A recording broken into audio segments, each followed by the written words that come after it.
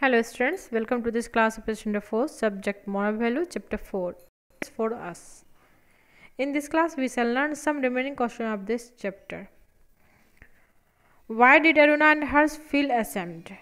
अरुणा और हर्ष को शर्मिंदगी क्यों महसूस हुई answer Aruna and Harsh ashamed when the tourist told one of the boys not to scribble on the wall जब एक लड़के को पर्यटक ने वाल पर दीवार पर स्क्रबल करने से मना किया तो उन लोगों को शर्मिंदगी महसूस हुई।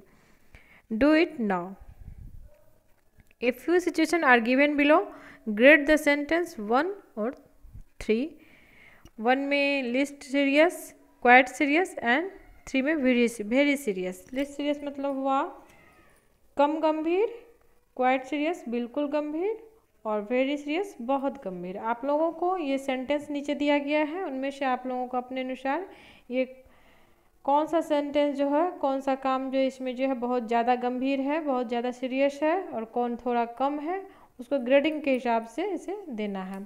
फ़र्स्ट में plucking flower in a garden public garden में फूल तोड़ना।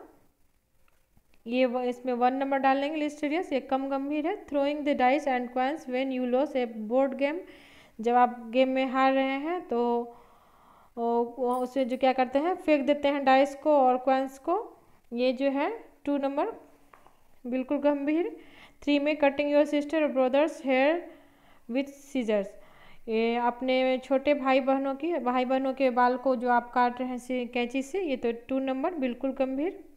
क्वाइट सीरियस डी में ripping the seats in the school bus with a sharp object और नोकिले ऑब्जेक्ट से जो है स्कूल बस को जो रिपिंग कर रहे हैं तो ये थ्री नंबर हो गया आपको very serious and last E में scribbling in your friends book अपने दोस्त की किताब को आप स्क्रिबलिंग कर रहे हैं तो ये हो गया आपको वन नंबर लिस्ट मतलब और ये अपने आप अपने हिसाब से भी आप इसे वन टू और थ्री में से किसी को डाल सकते हो। Okay students thank you